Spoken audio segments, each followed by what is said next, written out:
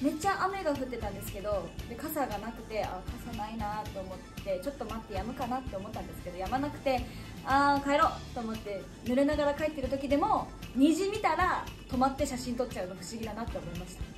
3歩歩くと忘れるところ。なんで農法さんはこんなに難しい質問をいつも言ってくるんだろうって。照明合わせ中に影？に不思議に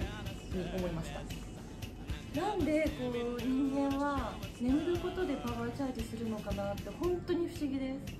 だって光合成でもいいじゃないですか。なんで夏ってこんなに繊細繊細というかで色濃くて彩りがある記憶が残るんだろうってすごく思います。夜ご飯あこれが食べたいなと思ってお家に帰るとお母さんが思っていたものを作ってくれる時。最近そのあんまり会ってなかった友達にちょっと会いたいなと思ってたタイミングがあってそのタイミングでこっちから何も言ってないのに向こうから遊ぼうよって連絡が来たことがあってなんかこう引き寄せみたいなものってあるんだろうなって。